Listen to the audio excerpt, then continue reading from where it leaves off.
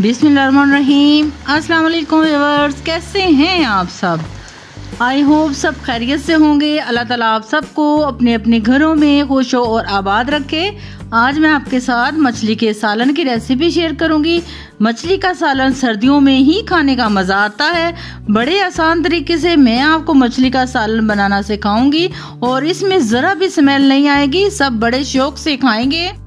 Recipe शुरू करने से पहले आप मेरे चैनल को सब्सक्राइब कर लें और बेल आइकन को प्रेस कर दें। इससे ये होगा, मेरी नई वीडियोस की अपडेट मिलेंगी आपको सबसे पहले। और वीडियोस को लाइक और शेयर करना मत भूलिएगा। तो चले आए, मछली का सालन बनाना शुरू करते हैं।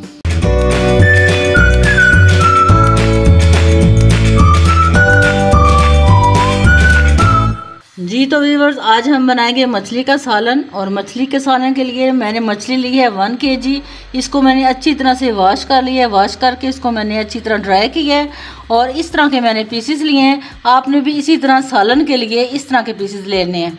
अब मछली को लगाएँगे लेमन का रस। तो लेमन जो है, इस तरह काट लेना है। इसको पहले थोड़ा सा नरम कर लेना है ताकि रस जो है, बसानी इसमें से निकल सके। तो इसमें ये रस है। सारे पीसेस में ये रस लगा लेंगे। तो बीज जो हैं, ये हमने रिमूव कर लेने हैं, बाद में मैं कर लूँगी। तो ये लेमन मैं इसलिए डाल रही हूँ कि ये टेस्ट बहुत अच्छा आएगा इसका। तो साइडें जो है, ये चेंज कर लेनी है, इस तरह करते जाने और लेमन जो है, इसी तरह सारी साइडों पे, दूसरी साइड पे भी लगाते जाना है और साइड को चेंज करते जाना है। ये टेस्ट बहुत अच्छा आएगा इसका मछली का ना। एक तो एक स्मेल जो होती है ना, एक मछली की, वो भी नहीं आएगी। अच्छा अब इसमें लगाएँगे दही। लेमन हमने लगा लिया अब इसमें दही जो है, ये लगाएँगे। तो दही जो है, ये मैंने मिक्स कर लिया है। तो ये चम्मच की मदद से इस तरह लगाते जाएँगे। सारी मछली को इसी तरह लगाना है। ये सारा, ये जो मैं कर रही हूँ, लेमन लगाया और दही लगा रही हूँ, इसके लगाने से एक तो हमारी मछली जो है, मछली के पीसीस जो हैं, ये टूटेंगे नहीं। और टेस्ट बहुत अच्छा आएगा। ज़्यादा नहीं लगाना, हल्का सा ही लगाना है। अब ये मैंने लगा लिया है सारी साइडों पे। अब साइड जो है, ये अब मैंने चेंज करनी है। इस तरह ये साइडें चेंज करते जाना है और दही जो है, ये लगाते जाना है। मछली को मैंने दही और लेमन लगा लिया है तो फ्लेम जो है, ये मैंने ऑन कर लिया है और फ्राई पैन जो है, ये मैंने फ्लेम के ऊपर रख लिया है। फ्लेम हमारा गर्म होता है तो हम इसमें डालते हैं ये ऑयल ऑयल हम थोड़ा सा ही डालेंगे बिस्मिल्लाहिर्रहमानिर्रहीम ऑयल मैंने तकरीबन तीन चार चम्मच मैंने ऑयल डाला है और ऑयल को गर्म होने देंगे। पैन में जो ऑयल है, ये गर्म हो चुका है और फ्लेम की हीट जो है, मैंने स्लो कर दी है। अब जो मछली के जो पीसीज हैं, इसको हम हल्का सा फ्राई करेंगे। इस तरह पीस करते जाएँगे और हमने पीसीस को गोल्डन नहीं करना। सिर्फ़ हल्की सी हीट देनी है।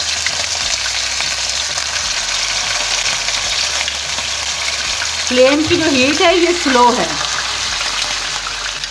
पीसेस मैंने सारे फ्राई पैन में डाल दिए हैं और हल्की सी इसको हीट ही देनी है, ज़्यादा इसको हमने गोल्डन नहीं करना। बड़ा यूनिक सा तरीका है जो मैं आपके साथ शेयर कर रही हूँ। आपने मेरी जो वीडियो है, ये शुरू से लेके एंड तक फॉलो करनी है, ताकि जो मेरी रेसिपी है, इसकी सारी आपको सही तरह समझ आ सके। तो अब इसके जो पीसीज हैं, इसको हम इसकी जो साइड है, इसको उलट देंगे। ये देखें पीस गोल्डन नहीं हुआ, सिर्फ़ वाइट हुआ है।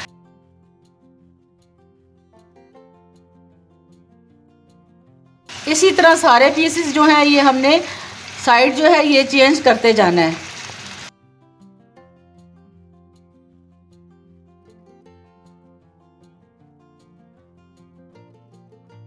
एक तरफ़ से मैंने साइड चेंज कर दी है, अब दूसरी साइड पे, दूसरी जो साइड है, इसको भी हमने पकाना है। सिर्फ़ दो से तीन मिनट गोल्डन हमने नहीं करना, सिर्फ़ वाइट हमने पीस को करना है। तो एक तरफ़ हो गया, अब दूसरी तरफ़ करके तो पीसेस हम जो है फ्राई पैन से निकाल लेंगे। साइड जी मैंने एक साइड से चेंज कर दिया, अब दूसरी साइड भी मैंने जो है ये पका लिया अब इसको निकाल लेते हैं। बिस्मिल्लाहिर्रहमानिर्रहीम। ऐसे प्लेट में, दूसरी प्लेट में इसको निकाल लेंगे। माशाल्लाह जी, जो मछली के पीसेस हैं, ये मैंने फ्राई कर लिए हैं। अब इसके लिए हम ग्रेवी तैयार करेंगे। अच्छा जी, फ्लेम को हमने ऑन कर लिया है। ऑन करके तो कढ़ाई जो है, ये हमने फ्लेम के ऊपर रख ली है। और कढ़ाई जो है, ये गर्म हो चुकी है। अब इसमें डालेंगे ऑयल। ऑयल जो है ये हाफ़ कप से थोड़ा सा ज़्यादा ही है। ये इसमें ऐड कर देंगे, बिस्मिल्लाहिर्रहमानिर्रहीम। इसको गर्म होने देंगे। ऑयल जो ये गर्म हो चुका है तो मीडियम हीट पे मैंने गर्म किया है। अब इसकी जो हीट है, इसको स्लो कर देंगे। अब इसमें डालेंगे मैंने ये प्याज हैं।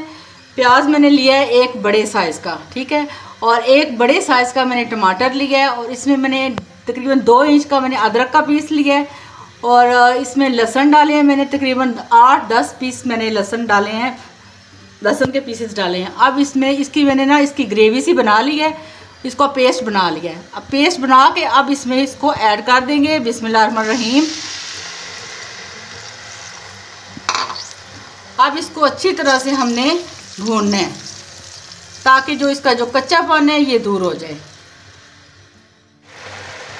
माशाल्लाह जी, पानी जो है, इसका प्याज का जो मैं अभी पेस्ट डाला है, इसका ड्राई हो चुका है, तकरीबन ड्राई हो चुका है। अब इसमें मसाले ऐड करेंगे। मसाले जो हैं, ये वन टीस्पून मैंने मसाले लिए हैं वन वन टीस्पून ठीक है, सारे मसाले। और हल्दी ली है मैंने और कश्मीरी मिर्च ली है।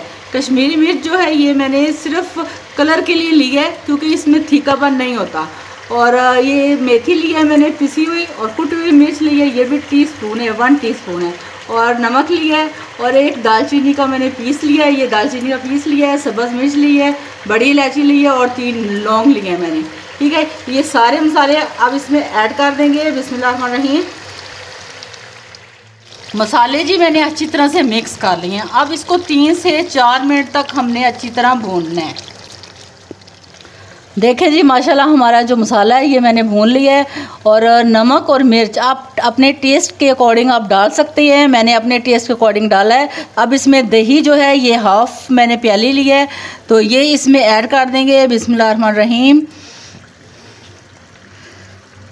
अब इसको अच्छी तरह से मिक्स करेंगे।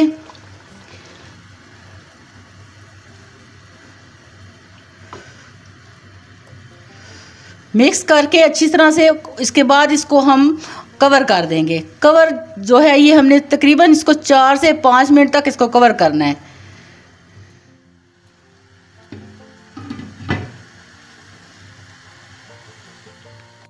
तीन से चार मिनट हो चुके हैं। अब इसका जो कवर है, ये उतार लेते हैं। माशाल्लाह जी, ज़बरदस्त खुशबू आ रही है।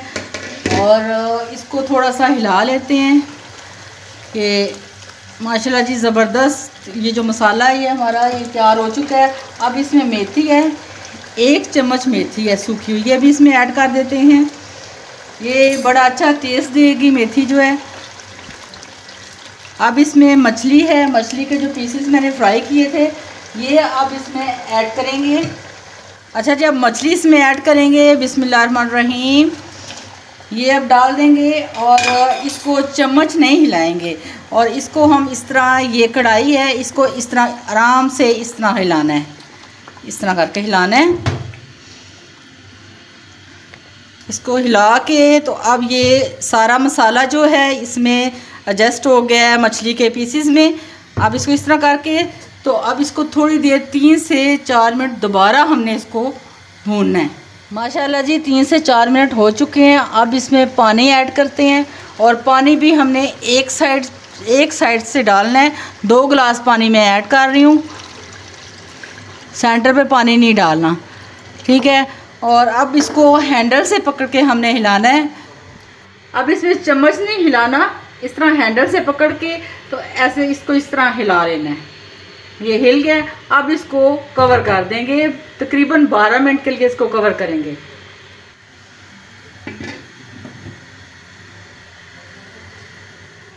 कवर किए हुए 12 मिनट जो है, ये पूरे हो चुके हैं। अब कवर जो है, ऊपर से उतार लेते हैं।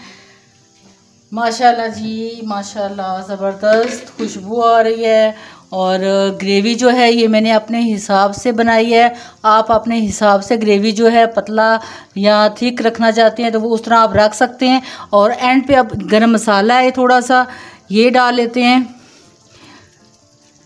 और फ़िश का जो सालन है, ये हमारा तैयार हो चुका है। अब इसको डिश आउट करते हैं।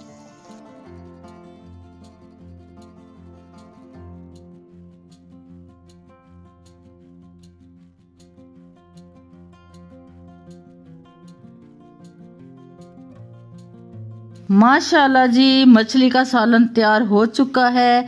इसे डिश आउट भी कर दिया है और इसमें थोड़ा सा धनिया भी डाल देते हैं। आई होप आपको ये मेरी रेसिपी अच्छी लगी होगी।